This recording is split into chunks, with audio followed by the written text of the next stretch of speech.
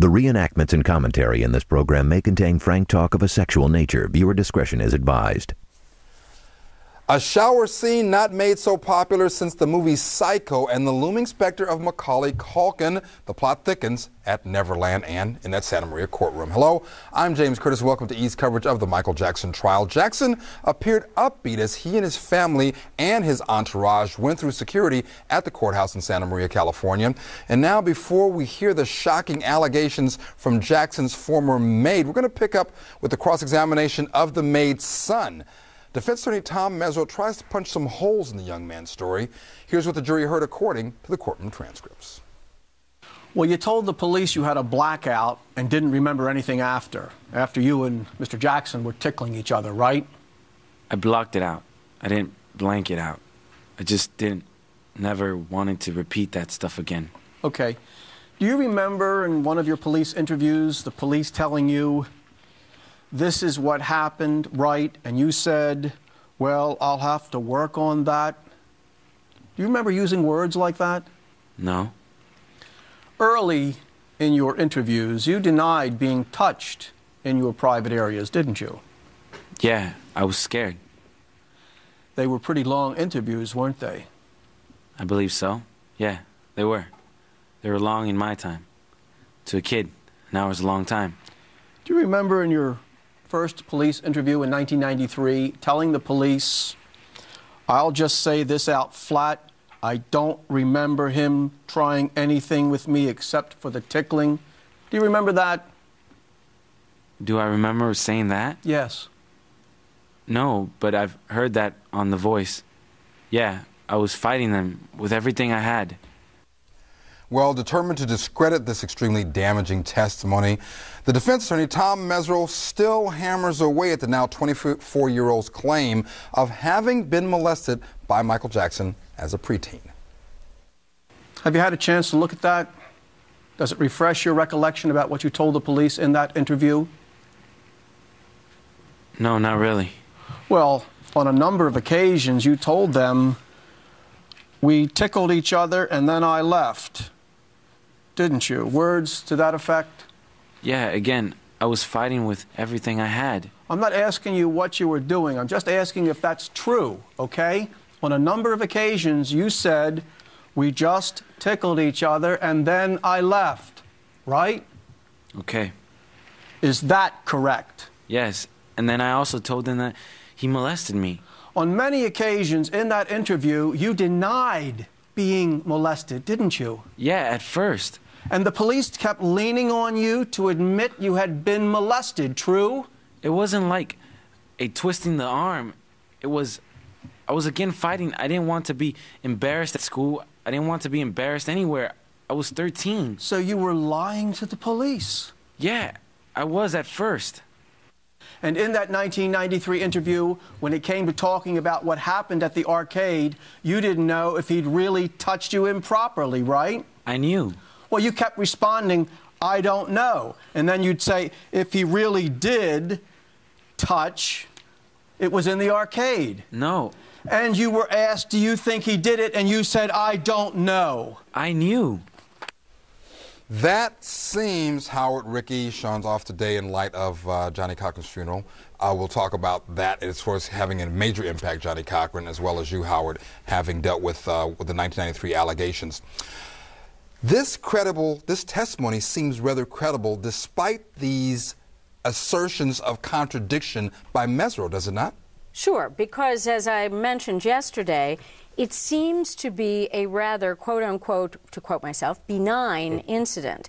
It's not the kind of activity when we think of as being this grotesque kind of child molestation. And because it is this light touching and tickling, it seems to have the ring of truth, which is difficult for Michael Jackson.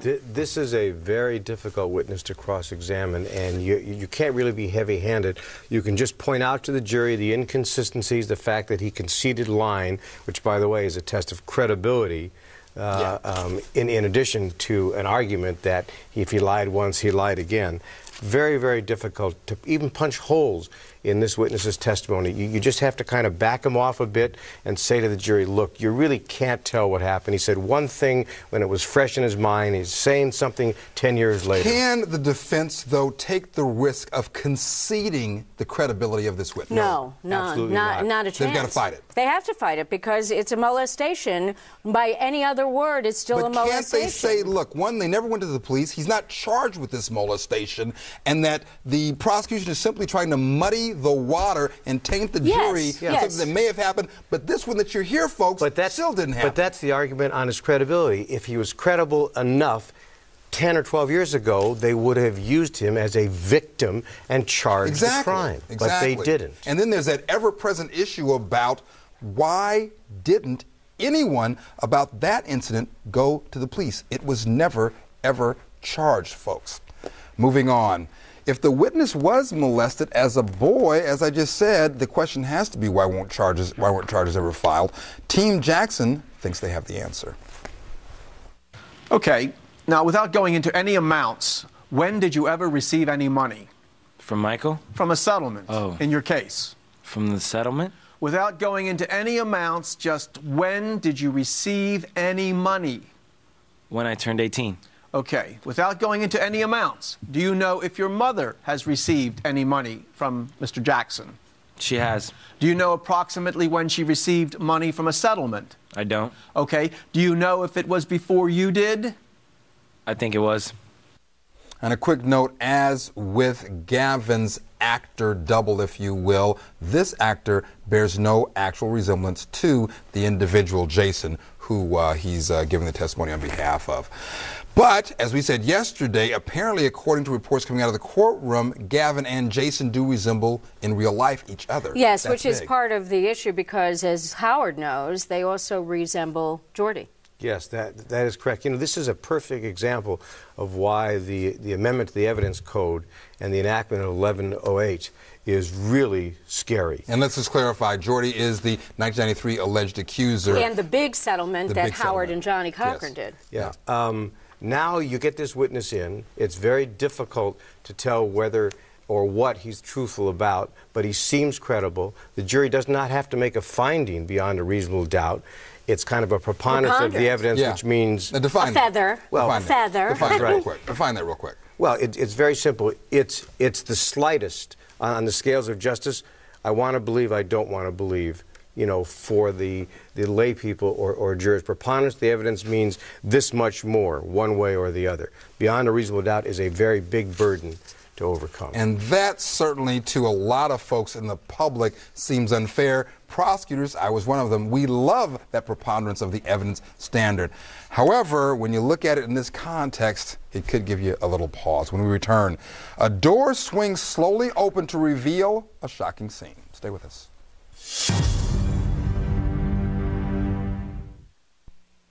The reenactments and commentary in this program may contain frank talk of a sexual nature. Viewer discretion is advised. Welcome back. The son of Michael Jackson's former maid proved to be a formidable opponent in the form of a witness, if you will, for the defense team, a very strong witness for the prosecution. Will his mother be equally effective? Here's what the jurors heard according to the courtroom transcripts. Did you know a person by the name of Wade? Yeah. Who was Wade? He was a young kid, a young little boy, How old was Wade when you first met him? probably eight, seven or eight. Wade was there for quite some time? Yes. All right. And during that time, are you aware of him staying any place other than Michael Jackson's bedroom? No, he'll stay there as far as I know. Now, your obligation, of course, was not just to clean up, but to do the linens? Yes. The sheets off the beds, is that right? Change. You said that there were two beds Uh huh. Yeah. at least. Were there more than two beds in his suite, or just two? No, just two. Did you make the beds every single day? Yes. During the time that Wade was there, how many beds did you make? One or more than one? Just that one. The one that was Mr. Jackson's bed? Yeah, the one upstairs was rarely used. Next, an indelible image or improbable story. Was there an occasion that you went into Michael Jackson's room and came upon Michael Jackson and Wade Objection, leading. Overruled. You may answer. Mm, did I what? Come into Michael Jackson's room and discover that Michael Jackson was there with Wade. Yeah. Okay. Was there an occasion when you went in and they were in the shower? Objection, leading. Sustained. Did you ever come in and find them in a situation that made you uncomfortable? Objection, leading. Overruled. Do you understand what I'm asking? That I was what?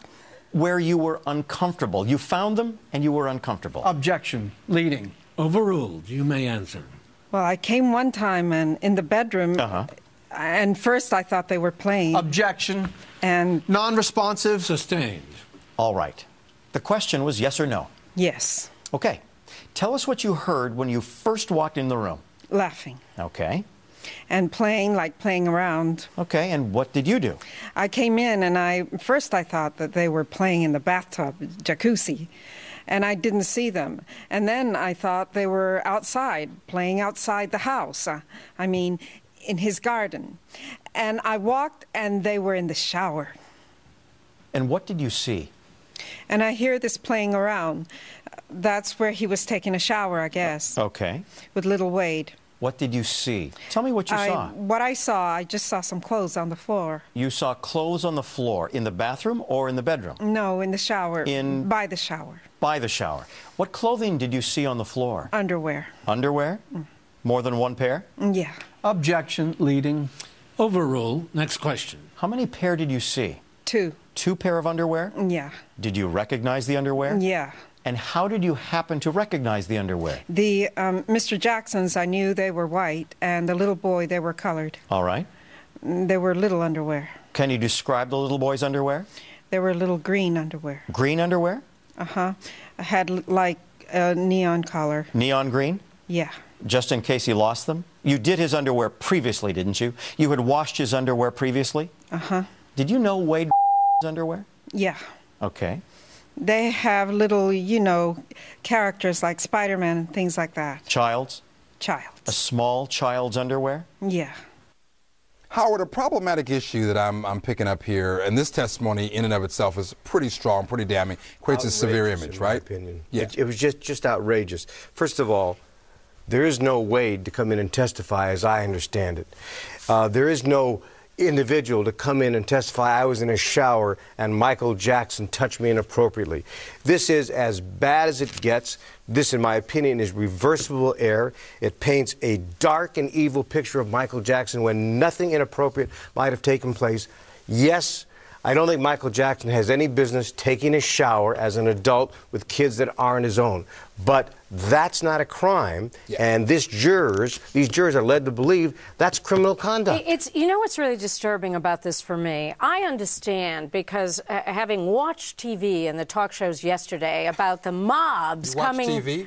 By the mobs coming forward, you know, and serial pedophile and hang him and do all this stuff.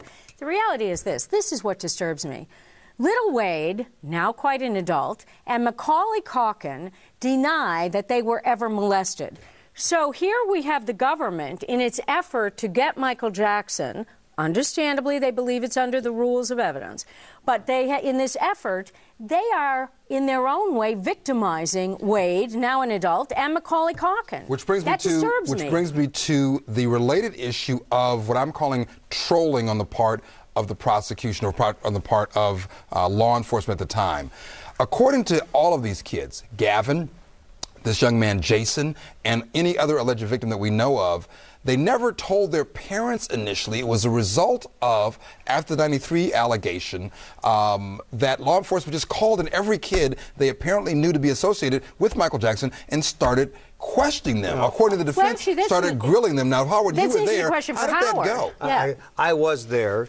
They did troll, to use your phrase, and interview everybody and their brother, and th- there were no incidents that they found sufficient enough to bring a prosecution. What is scary here is they're putting on evidence of alleged victims that they, the so-called victims, say Didn't they weren't victims. and evidence that does not amount to a crime in any state, as far as we know, at least to the extent of being in the shower with a young person not related to you.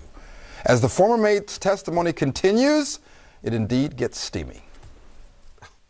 In that bathroom, is there a shower curtain? No. What is there in that bathroom? A glass door. A glass door. Is it a glass door that is fogged or is it a glass door that is clear? It's clear, but at that time it was smoky, Okay, smoky, cloudy. cloudy. From the shower? Yeah, All right. When there's no shower going, can you see through the glass? yeah, On this occasion, when the shower was going, could you see through the glass? no. Could you see any figure at all? What could you see? Ask I saw a figure. Hold on. Just a minute. The objection is overruled. I saw a figure is the answer. Go ahead. Did you see more than one figure? Yeah, All right. Did you recognize either of the figures that you saw? Mr. Jackson All right. and the little kid. Was one figure larger than the other? Yeah, Was the second figure the size of Wade? yeah, yes. What did you do at that point? That he was going to get mad or Objection non-responsive. Sustained. Move to strike. What did you do at the time that you saw Mr. Jackson and Wade in the shower? What did you do then? I was going to talk to them, but then I thought, no, I better not, so I just went back. Next, the witness who, for an El Salvadorian immigrant, sounds a lot like someone from the Bronx, suddenly sees Michael Jackson's affection for her son in a new light. Just tell us what you saw with Jason. Well, he was sitting on his lap, Okay. And what concerned you? and I walked in, and he was sitting on his lap, and Mr. Jackson was just reclining, reclining to the back, Reclining? reclining to the back, Okay. And having my son in his lap, And where was Jason positioned on his lap? his legs. Okay. And what did you do? I just told my son to get out, and he was. I remember he say, "No, I'm fine." Objection non-responsive. Move to strike. You told your son to get out? Just a moment. Stricken.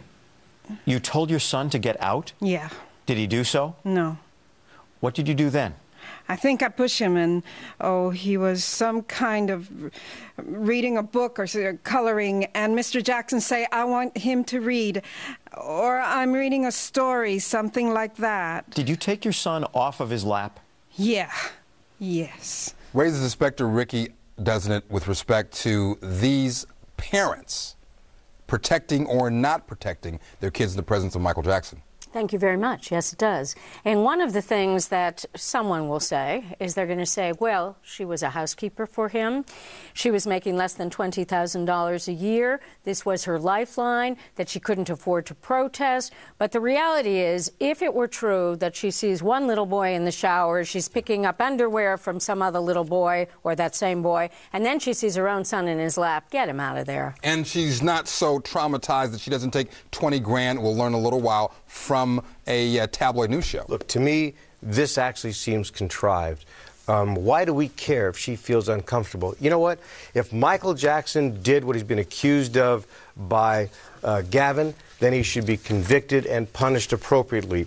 I want to see that evidence. I want to convict him on those alleged acts. I don't want somebody come in that tells me they're uncomfortable when they saw nothing criminal take place. I just think it's wrong. Well, I don't think it's necessarily wrong in and of itself, but certainly that alone doesn't give us evidence of wrongdoing. Uh, but then again, we don't really count. It's the jurors who need to make that determination about its merit. When we return, I've told you at this trial we're going to have at least one celebrity a day, and although Ricky and Howard and Sean are quite famous in their own right, not talking about them, and this next celebrity, whose name comes up, would probably rather be left home alone. Stay with us. The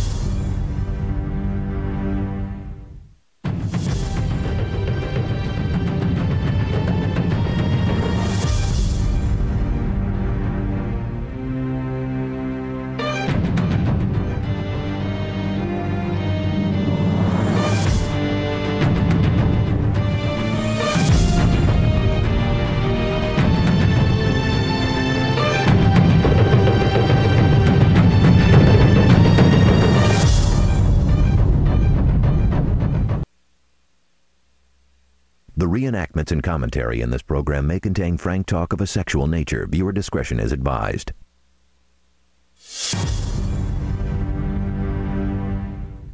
Welcome back. Under questioning by Assistant District Attorney Ron Zonen, Michael Jackson's former personal maid tells jurors about another house guest. At the time, this young star, although not quite as famous as the king of pop himself, really had a following in his own right. Here's what happened according to the courtroom transcripts. Do you know who Macaulay Culkin is? Yes. Who is Macaulay Culkin? The little kid from the movies. Yes. Did you ever see Macaulay Culkin? Yes. Personally, where did you see him? At the Neverland, at the ranch. Did Macaulay Culkin come with any other family members that you recall? Yeah.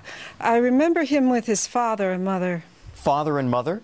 And the other kids. Other brothers and sisters. Other siblings? Yes. Did you ever see Macaulay Culkin in Mr. Jackson's bedroom? Yes. Were his possessions there in the bedroom? Yeah, I don't remember. That you don't recall? No. Do you recall if you ever washed his clothing, as you did Wade? Yeah. The idea here, 1108, this new evidence code section, it's a weapon for the prosecution, and they're using it for all it's worth right well, now. you have to say that they have a right to use it. The law says that they have a right to use it, and if I were prosecuting the case, I would use it too. And the difference is, Howard, just so everybody's reminded and clear, is that unlike the law previous to 1108, that is the evidence, evidence code section, you, they had to be essentially similar, sort of cookie cutter, some resemblance, some uh, pattern, if it's you will. It's supposed to be prior conduct that yeah. one could find is criminal. We have this this former housekeeper telling us she's uncomfortable about what she sees regarding Wade, Wade and Macaulay Culkin, but Wade and Macaulay Culkin do not come in and tell us that, that anything was wrong. Michael has already conceded he slept in a bed with kids. We might not approve of it, but there's no testimony anybody yeah, did anything yeah, it wrong. It doesn't quite get there. On a sad note, as we change gears slightly, today was the funeral for a giant of the legal profession, legendary defense attorney, our friend Johnnie Cochran. His life was celebrated by attorneys, by celebrities, by members of the community who cared so deeply about him, and certainly, Johnny, you will be, be missed. A unique, one of a kind individual. A few seconds left. Howard, well, Ricky. We in Los Angeles, and I think the global community, will miss the Johnnie Cochran. And I just want to say good night, Johnny. Good night, Johnny. That's it for us for today. Be sure to watch our exclusive coverage of the Michael Jackson trial Monday through Friday, 7:30 p.m. only on E. And indeed, good night, Johnnie.